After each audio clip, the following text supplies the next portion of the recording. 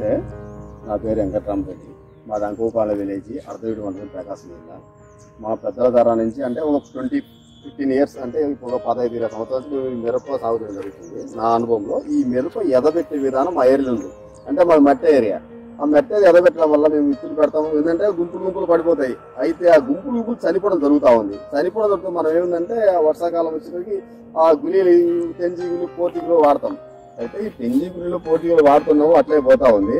మాకు మూడు సంవత్సరాల నుంచి మాకు ఐటీసీ వాళ్ళు వచ్చారన్నమాట మా ఏరియాకి. రావడం వల్ల ఈ నారే వ్యవస్థ ఉంది మనం. అంటే మనం నారు పోస్తాం నారకే నర్సరీ మొక్కలు.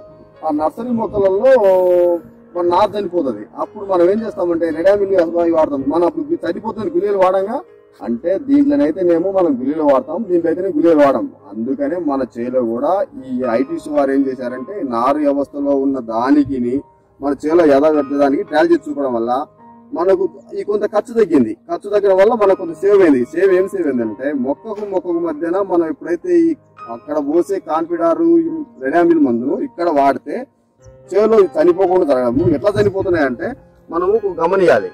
ఈ మొక్క ఉంటే ఈ మొక్క గుంపులు గుంపులు ఉండడం వల్ల ఇక్కడే చనిపోతుంది.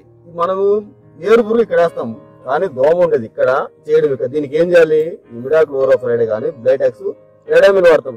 అప్పుడు కొంతసేపు సేవ్ తగ్గిపోతుంది ఎక్కడ ఎక్కడో పది మొక్కలు చనిపోతాయి. ఆ పది మొక్కలు మాత్రమే వాడితే ఇదైతే మనం అట్లా కాకుండా ఇక్కడ చనిపోతే చేను మొత్తం వేస్తాం అదే మనం ఐటీసీ వారు మనకు చెప్పిన గమనిక ఏంటంటే ఇట్లా గమనించండి అని వల్ల నేను గమనించేది అయితే రెండో విధానం ఏంటంటే ఈ ఐటీసీ వారు ఇట్లా కాకుండా రెడ్ ఇది ఉంది మన టైకో డర్మావిరిడి దాన్ని వాడడం వల్ల కూడా యాపపిండిలో టైకో డర్మావిరిడి వాడితే ఒక కేజీ టైకో డర్మావిరిడి ఒక యాభై కేజీలలో యాభై పిట్లు వాడినామంటే అది యాభై కేజీ అయిపోతుంది. ఆ యాభై కేజీ టైకోడర్మా వల్ల ఇలాంటి ఏమైనా బ్యాక్టీరియా ఫంగస్ ఉంటే భూమి మీద అయిపోతాయి అందువల్లే మనము ఈ ఐటీస్ వారు ఏం చేశారంటే ఇంకా మంచి సలహాలు ఇచ్చి ఇంకా వాళ్ళు ఎవరు మనకు ముందు ముందు రాను రోజుల్లో మంచి మన అభివృద్ధికి సహకరించి వాళ్ళు మళ్ళా సలహాలు ఇస్తే ఇంకా బాగుంటుంది. అయితే ఈ నారు వ్యవస్థలో ఇట్లా చనిపోవడం వల్ల మనకు వచ్చిన నష్టాన్ని దీనివల్ల మనం పూడ్చుకోగలుగుతున్నాం.